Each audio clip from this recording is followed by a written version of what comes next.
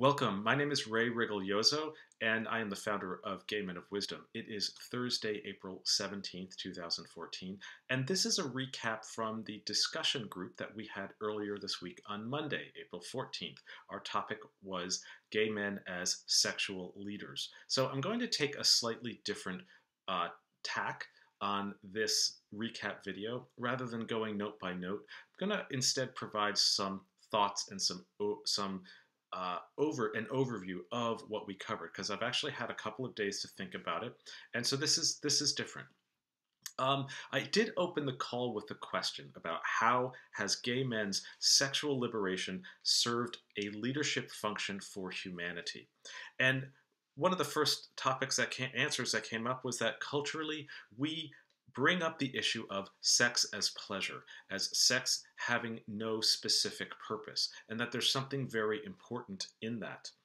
And what's interesting is that some callers reported that they're seeing younger heterosexuals adopting some of the more sexual styles of gay men, for better or worse, as we talked about.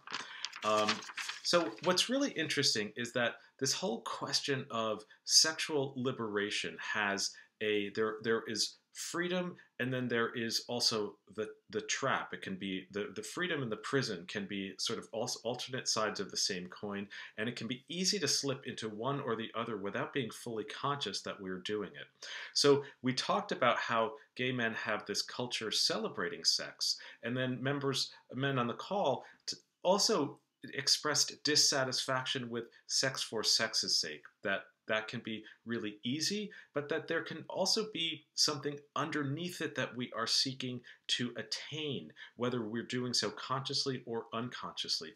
And often that can be the need for intimacy.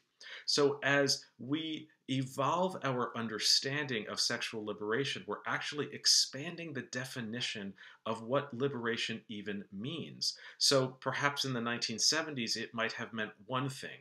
And there was a a man that I met at the Leslie Lohman Museum a couple of years ago who talked about the uh, the piers in New York City, how we talked about it was all about having the freedom to have sex. That was gay liberation in the 1970s.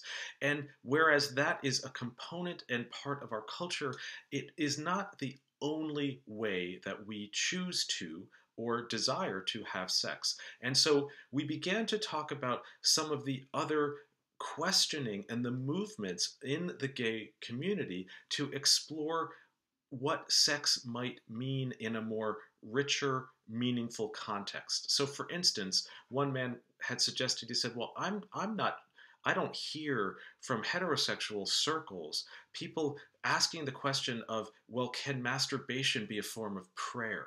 Can ejaculation allow us to connect with God? These are ideas that gay men are exploring.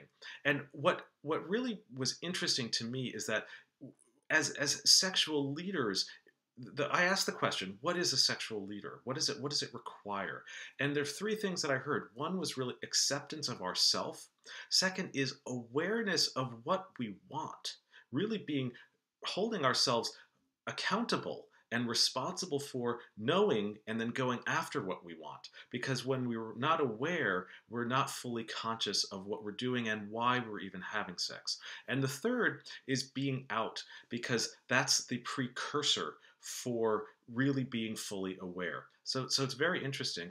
And I, I heard a lot of dissatisfaction with uh, with sex among men that there uh, is it as members uh, on the call stated that they've experienced a lot of dissatisfaction with only being able to meet on one level sexually and not being able to go deeper.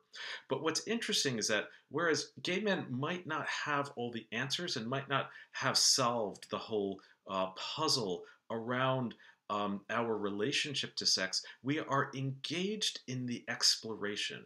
We are approaching it honestly, forthrightly, and really modeling for the world what it is like to embrace sexuality without shame.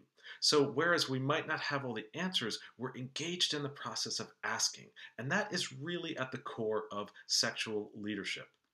So, those are just some ideas and some thoughts and observations from our discussion group Monday, April 14th, 2014.